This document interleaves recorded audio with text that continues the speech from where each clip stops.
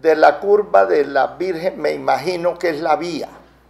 La vía estamos en diseños. Yo quiero que me entienda la ciudadanía que esto no es como en el sector privado.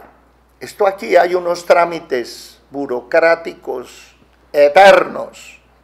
Son seis meses para sacar la licitación de los diseños. Ya se adjudicó.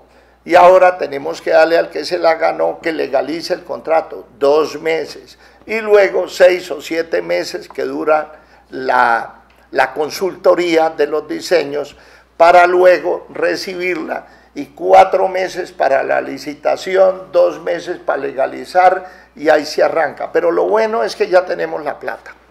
Ya tenemos la plata en una fiducia, que fue también un proceso de adjudicación a través de una licitación, eh, donde tenemos acumulado la totalidad del dinero para poder atender a esa, a esa obra.